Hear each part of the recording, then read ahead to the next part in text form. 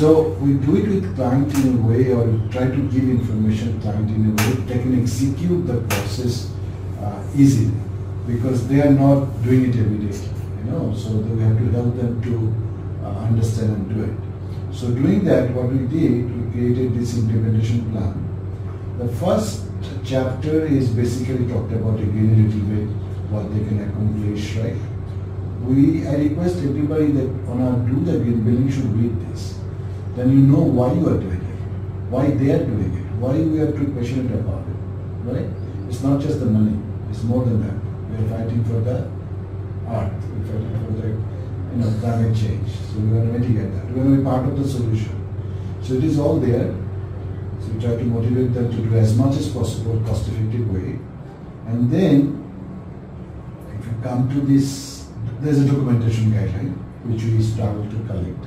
You know, each of the credit they have to give us is a design drawing, photograph, logs, simulation, and there is a letter for certificate and audit report whatever requires. So each credit requires one or two or three or four of these different kind of documents and all the documents have to uh, match with the other one. It should support with that right? So the design has uh, 20 tube light and invoices for 300 tube light. It's not going to work, right? So it's a basic concept. So we ask them to do it and then you guys should read it. I'm just going to give you a little, you know, briefing on it. And then we created this checklist is which product requires what kind of certificate or what kind of documents. Right? So each of those products, if they say in BOQ there's a steel, then they should have recycled original content certificate and equity certificate is available. Same thing everything. So we have these in a different format for client to check. Now we even created, uh, Kritika, a procurement guideline. Hmm. That procurement people should go through this Hmm. and they have to literally sign acknowledgement that they receive it and they review it. Everything that we're giving out to the client right now, we're asking for acknowledgement. So whether they read it and understand it and Hmm. uh, without this acknowledgement, we're not going to go further. Hmm. So every step of the way now we are doing in a way that they become accustomed to do it, not just putting it on the side. Hmm. Uh, Okay, so we are doing that now. We're asking for these uh, things. Now here we can see that we have so many guidelines has been created and all these are now up to date till today. If architect want to see what he have to do, the guideline is there. If ventilation consultant want to see what they have to do, what is the ASHRAE uh, allocation for them, they can see. They don't need to read the ASHRAE standard. They just can read our summary of the guideline, what is applicable to them, and they can just do that. Okay, our job when they send it back to us to recheck against this guideline whether they mention that or they maintain it or not. If it's not, we just have to send it back. Okay, so there are all kinds of guidelines we have. I request if you want to learn more, please review this guideline. It literally can add value to your career. Okay. At the same time, if you find some guideline that has some uh, mistakes or some information problem, please let me know so I can correct it. I'm not architect, I'm not engineer, but I study a lot and I put it together. And most of them, uh, ma'am checked it so far. But if you find something that uh, is looks like not right information, let us know, we'll correct it. Okay. Or if you think like you want to add something to that guideline that is missing, you also can do to enhance the guideline. Okay. In Bangladesh, we give this guideline to almost everybody, even if it's not my client. The reason because we do that, we want people to practice this passive design concept, this sustainability concept, this green concept, not just for certificate. They should have, say, louver in their window so they can control the glare and they can use the data. Simple as this. Maybe it's a village house, right? So we keep this kind of everybody. It's free for everyone. You don't have to be paid us to do that, right? And we also take it to the, all the institution that is Bangladesh, like engineering college, BUET, we give it to them so they can learn. What happened in our traditional uh, uh, education system, we move, we miss so many basic stuff. Okay, so we give that all these things. And then uh, also next to the guideline, I'll show you a little bit later, but I'll just tell you, we have a checklist. There's a checklist for architect, what he have to do additionally in the green building design. One checklist for the MEP consultant and one separate for the lighting consultant, one separate for the plumbing consultant. That each of them have to do few things more or additional, which they normally may not do. The location of waste basket, right? Location of segregation room, location of meters, sub-meters, right? They usually don't do that, right? So they have to do that. So we are putting that to them to give us things. And this is our, uh, we call it, we used to call it feasibility study of the project. This is for one project, you know, it's a generic, but see, we already target which point they're gonna get. Which point they can get difficult to, it can be done, but they have to do something, right? And which point this particular project not gonna get. So it's a LEED scorecard, same you guys know. So it is also given to the people now. If they say now I don't want to do that uh, uh, energy atmosphere one point thing submitted for us or say uh, demand response, we just take that off. We tell them that this is your point, you tell me which one you want. You want 60 point, then you take 53 from easy one and then get another 7 point or 12 point, 8 point, 9 point from the difficult. You want plug them, now get more. Okay. So I'm just giving you a little bit hip shot. And then there's a breakdown. That's a summary and there's a breakdown. Which one? We do this in the very beginning of the project for our side, for my side as a consultant to uh, tell them what is possible for them and what is not possible for them, what is cost effective for them. So this is the summary of this scorecard. Okay. Based on these findings, whatever we feel like they can do, uh, easily or, or difficult but possible. We give them now, this is the actual called implementation plan. The first credit, you know, is called integrated process. We are now talking about uh, new building, the same is like one for building, same format, same things. So in this new building, there is an integrated process. Now, there is no cost involved, but they have to do something. So we talked about the green narratives, that LEED narratives that we have. And then here, we give some notes, what they uh, supposed to do, and here is a sure step-by-step process. They have to do, uh, all consultants must meet, right? And they're supposed to review all the guidelines. They're supposed to go to the site, do the site survey, right? They're supposed to do our checklist to understand what they have to do for us, right? All consultants must participate in periodic meetings to improve the design, right? Minimum three minutes is required, more is good. And all consultants must participate in a WhatsApp group to manage the LEED consultancy cost. So see now they already know what to do. We have now projects, uh, MEP consultant usually Bangladesh comes later, after the design complete, and then now, okay, what I have to do? Okay, I have to put lights here, fans here. They have no say on the design process. You know, like uh, recently we have a project, it's called Airtex Complex. They made a design uh, before we get in, 70,000 square feet floor plane.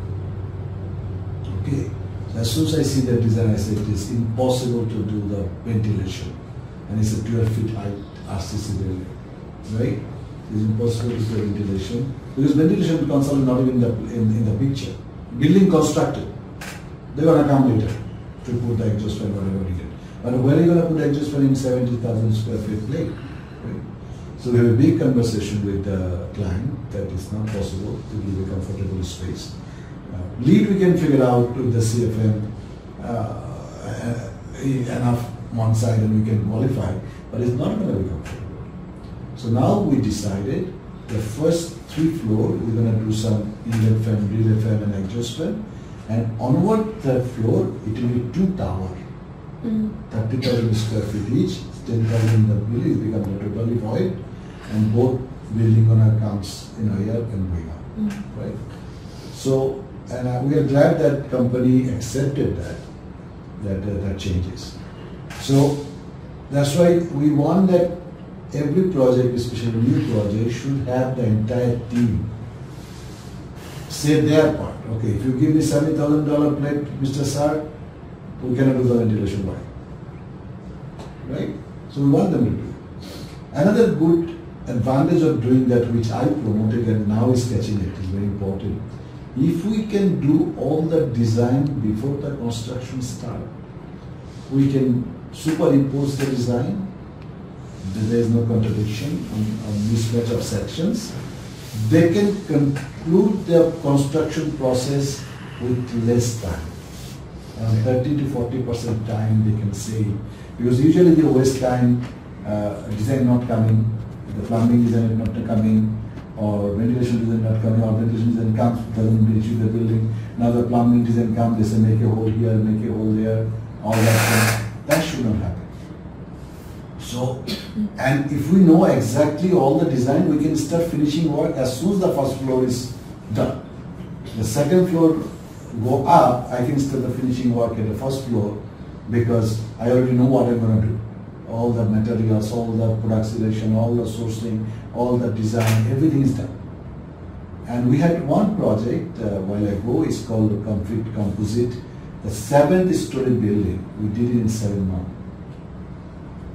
When the third story building was building, the first story building was the uh, finishing work started. So it is possible. We are pitching uh, for uh, client to understand how he can reduce his construction time from three years to two years, meaning one year extra production time. It's unbelievable value if they follow this LEED project. Okay, so this is what we try to to where the value is, not just certificate. Okay, so, so this is that thing, and then very next to next to here.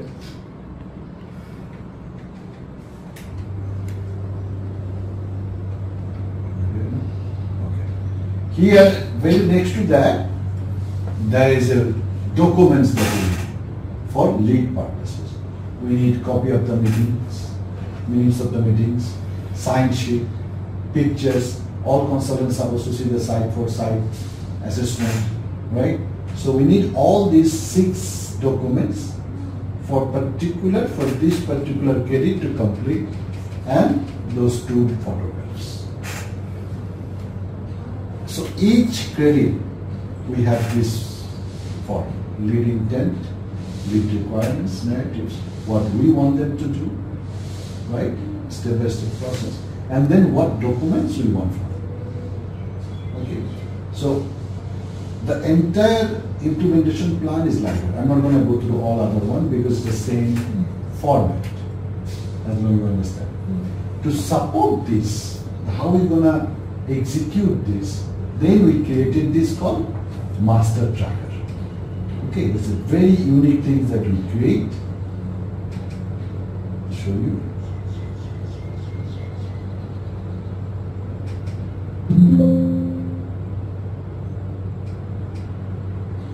This has this tracker from the beginning if I go here.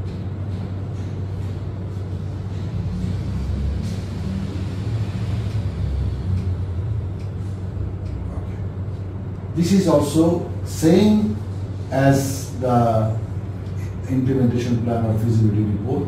Here we can have the same getting targeted and give them the understanding. So in this tracker, all this tab is interlinked, not on this one, uh, this is the older one.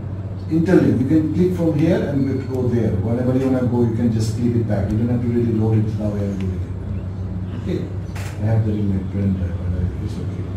So here you have a information tab, project information that we talked about, that we, we Yeah. segmentize, Yeah. site information. We collect all this information and then we put it here. As soon as we put the information here, there's a zero, Mm. meaning the information to be entered somewhere will come here. Okay. After that, and there is a calculation template which we supposed to do the calculation for my client, so there is the template. As soon as he put his land value, say the architect put his land, I'll give you example. He put total land, one hundred thousand or one hundred fifty thousand square feet. Okay. Architect know the land size. Right? I'll just give you an example. To, then here, automatically, see the 150,000 comes? And then it says the green area should be 30,000, now it's 30, uh, based on 150,000, have to be 30,000. It's a BNBC code. If you put 33%, then the next number will be come into play, 45,000. So now he knows or we know how many area have to allocate to what. I don't have to calculate. It is in the template. Okay. It's a huge template. It's a lot of time we invested. I invested into it almost six, seven months in the COVID time, right? And make it. You literally can do green building with just this step. It give you all the calculation, everything. You don't have to ask even man, right? You. You know the site. This is the site. As they give you, you put all that number, then you know this site is achieving this open space point or not, and everything like that. So see, all these zero means you have to enter something somewhere and it will do its own calculation. Same we have for the solar. As soon as you put their whole energy load, it will tell you how much solar you have to do and how many point And the energy load need to be entered in a five different tabs. One tab is for, I just show you,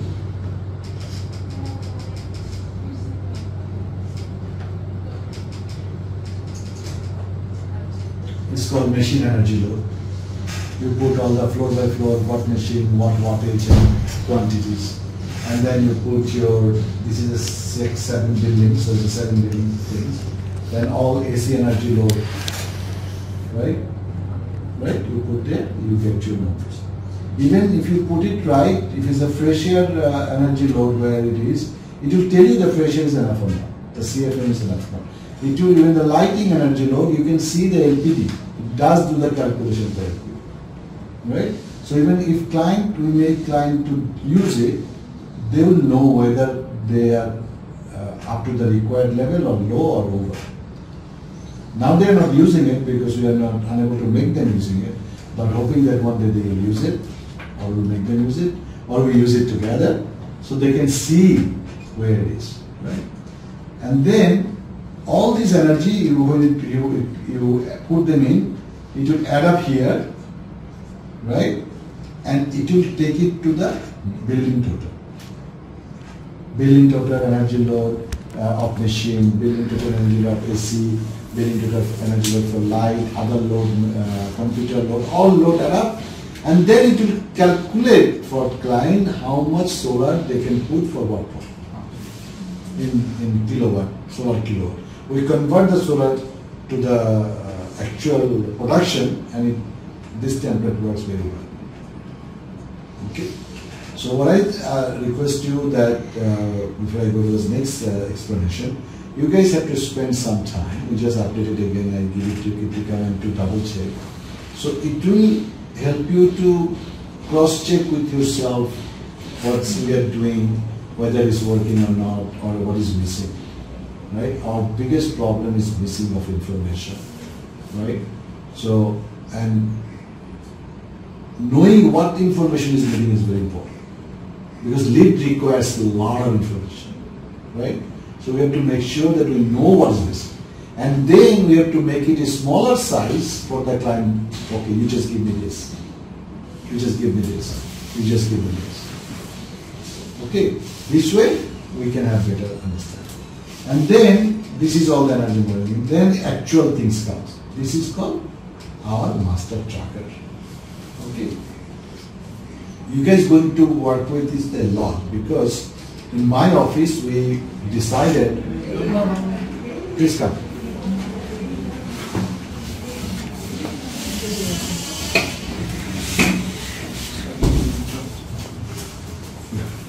In my office, we decided we're going to follow this Dr. villages.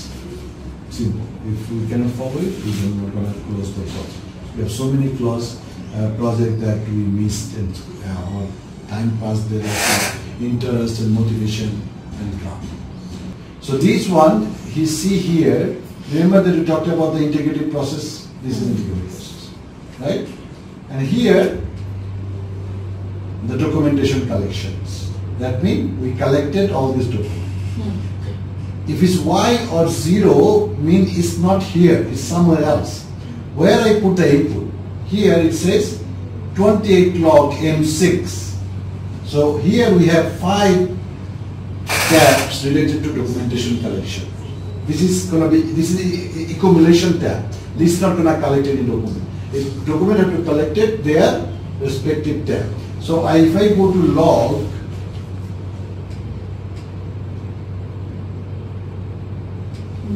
yes, 20. log. Here we say, same thing is same line. Copy of the minute. You got? Yes, I got. Okay. Uh, integrative process uh, uh, signing sheet you got? We got. Picture uh, is other there. So in log we got all this. Now if I say I didn't got it, I just delete it. Okay.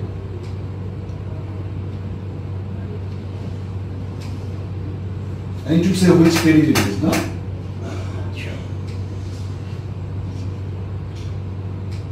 So I did not, other two is for other credit, so I just delete up to here to show you. Now I go back, guess what? It's not there. So now if I ask my team or I ask you, okay, what's your name? Purushottama. Purushottama. You call him Purush. Purush, Mm. man. Mm.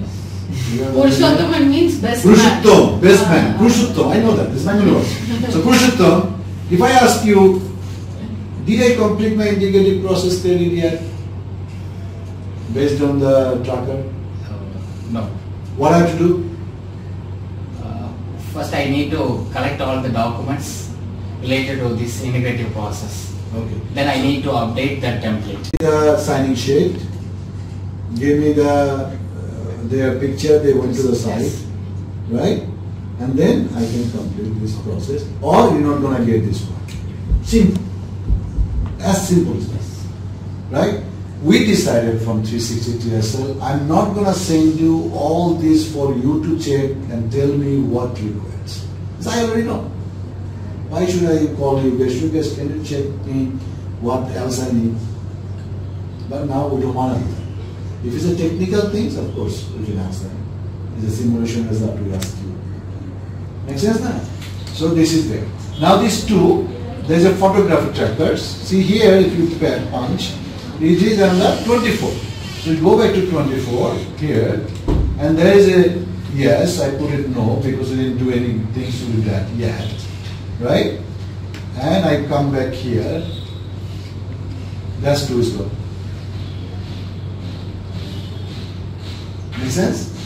So all, if we complete all these photographer trackers, all these material document trackers, all the design drawing if we collect what we know we're supposed to collect, and all the miscellaneous document that we need to do, hmm. if we have all the logs and all the plant policies is been accepted, signed, sealed and executed with some document, our project is ready to go. Make sense? So this is why I'm going, asking you, asking Kritika to all you come. From my office, every time I send you update, we're gonna send you one of these with that data. Mm. So this is updated till now. Why I'm gonna send you, that is the important part, that why, it is my job, see everything is my job, why I'm asking you to, you to hear. This is the reason, I show you, which we also decided in my office. I'm gonna send it to you, organized in a credit folder, delivered to GSC, that's you. You have to tell me I'm okay. After that, you never ask anything about this credit to me. Mm.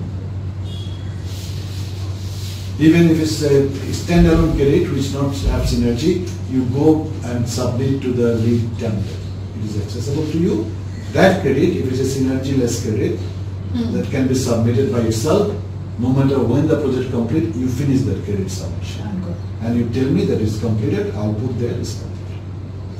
If we follow this, 50-60% of the things would be done before actual submission start, if I'm not wrong. Yes. Yes. Right? Now, if you think that in this credit I want to submit, only one item is missing. press me. Push me. Forget everything, get this one. I want to finish this one. That should be our desire. That should be our intention. Right? And this template looks like a lot of things, but if you follow it, it's gonna makes your life so easy. You know when people call me now, Ananta, give me update. Put the date on this template, send it over. Please check the tab 22. Here is very unique template. Here uh, what happened. Remember that LEED spreadsheet we talked about? Right? It is also here, right? Now this integrated process, this one. Target easy, target effort required, achieved. Right? So I put, it was like this before. Okay, it was targeted, not achieved. So if you go here, how's the achieved line? Hmm. Zero. Hmm. You go up again and say, no, we didn't finish it. Fine. We did it here, I put it here. Good. Fine. You achieve one point, right? You go down again. What happened? Now if the client say, I don't want to read all this, I want a summary. Very good. Go to 23. That's your LEED summary scorecard. Hmm. Here, he didn't put the chip there, but But it's it been linked to this here. I send this to them, that's your, what happened to all other credit? Go back and see what you did not give, Hmm. what you failed to give, or your team didn't give. Right? So I'm putting the, always the, the ball into their act. Not only that, all my project, if it's if they sign with me, they have to have mandatory green officer for their project that only work for me, only work for me. If they have other uh, job description with compliance, HR admin, I don't work with that. Why? Because one person do green is enough, he cannot do anything else. It's not possible. This is sustainability we are talking about. And each of the credit is good for something. These are good for energy savings, good for money savings, good for art savings, good for atmosphere savings, good for health savings. Otherwise, you would be LEED credit. LEED is always good, better than normal. Yes. LEED means is better than standard. Hmm. ASHRAE standard says this, you have to be five percent better to qualify, seven percent better to one point, you know, all that. So you have to be better, and more better is better. Your Better point. interview, yes. Understand? So, if we can bring this template culture to ourselves in my office, I consider both is my office really. Mhm. Yes. Okay, then I think we can smooth the process. Okay, and all in a same page. If we don't follow it, or I follow it, you don't follow it, or you follow it, I don't follow it, then it's not going to go. It's a teamwork, and so far that I work with Kritika for quite a bit time, she almost, without any hesitation, agreed that this is the way to go forward. Not for only my project, maybe she will do it for other projects also. Because we do not have any established system in green building process like this, as far I know. You already know me a little bit. I start these things in 2012, coming from Canada. I became first LEED GA in Bangladesh. Then I worked for EN3, where she worked for. I was their representative in Bangladesh. And I had quite a good number of projects that I gave to them, which we worked together at that time. Even they do not have system like this. Because what they have, they teach me, right? To get the things done. They don't have. And Kritika don't have. She has her own way. But this is, I think, the simplest way. Even if it's COVID doesn't happen, it's not going to happen. It, literally so much time for me to get it. It looks simple, but it's not simple. Right? So now we just update it. We share the latest version with her. She's going to approve it, and then that is going to be our Bible until we amend it The next one. until we improve it. So that is what we want to do as a team. Same with your simulation. I have a special uh, checklist what you need for simulation to be done properly. Uh, ask her to share with you, and you validate that. Yes, ma'am. These are the things is enough for me to complete the simulation. Without this checklist or anything missing from this, please don't send me the, to the simulation. That's been done, right? Easy. Same with design drawing. You know, you have a design drawing checklist. You can you can talk whatever. So we after we go through this, we're not gonna ask this question what else you need or he need or she need. We all know because it is. If it is not there right now, we update that. We put okay, we're missing this item. Let's include to that whatever credit it is or whatever place it is or whatever checklist it is. Include that in there, and then it's gonna become checklist. Right? So this is where we're gonna go forward. And I think if we start practicing, the first few months may be difficult, critical. Maybe we will have some linkage problem. If you find any linkage is not working, please let me know. I'll correct because I have to correct it for all them. Because each project has one template, right? And in my office also, I assign few project to Dipankar, few project to Basit, few project to uh, and coordinator is uh, Kashmir. So we also have, and they also know this. And in my office, I literally created exam for them. They have to pass the exam on this. They have to pass the exam on each of the guideline. They have to read the guideline, and there's a quiz. They have to pass that they read the guideline, right? And we're going to do that for the client green officer also.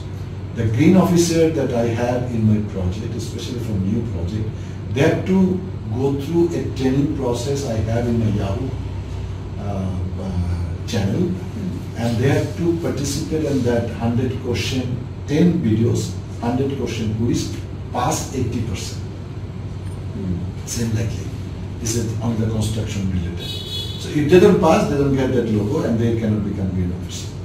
What good news is after they go through that and after we're gonna go make the quizzes for all the guidelines and all this template, if I make my green officer certified on particular that, we get lot less call, Hmm. lot less inquiries. This they know, right? What happened last says four or five months, my client asked me, how much rainwater harvesting I have to do? So I went back to my step-by-step plan, cut down that space, the rainwater harvesting, with the rainwater harvesting guideline, I said, go figure out. And the tab is here, rainwater harvesting calculation. I say, you give me all that information, your hard space, green space, roof space, you know, and I'll tell you. Or you can put it by yourself. Because if you tell me I'm going to put it here anyway, so you put it. Oh, I don't know my hard space. I don't know your rainwater harvesting calculation. I don't know my pond size. Very good. I don't know your rainwater harvesting calculation. You cannot ask me something without giving me the information. Right? But guess what? It's working now. Hmm. Now the mowing is good and fast, no more than me. you know? Yeah, I, I, when I know they know more than me, they might find my mistakes in somewhere. They don't, they read the whole thing, and only thing they find is three mistakes that I made in somewhere, which is good. I love it. Okay? So this is the summary that uh, we have for so far. Yeah. Now you, uh, you can ask me some question if you like, which is the most important part. If you don't ask me the question, there's two things can happen. Uh, two reasons. One, you understood everything more than I explained, or you did not understand anything. I don't know which one is that. So you have to tell me which one it is. So ask me that.